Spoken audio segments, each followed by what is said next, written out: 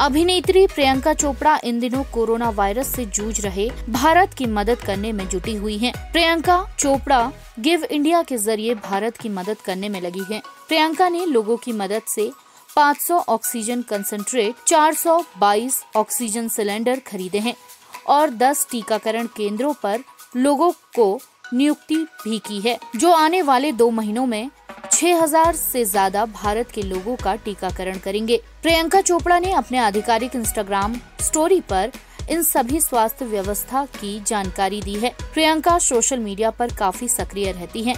वह अपने फैंस के लिए खास तस्वीरें और वीडियो भी साझा करती रहती हैं। साथ ही प्रियंका ने फंड जुटाने में सहयोग करने वालों का शुक्रिया अदा किया है आईएनएस रिपोर्ट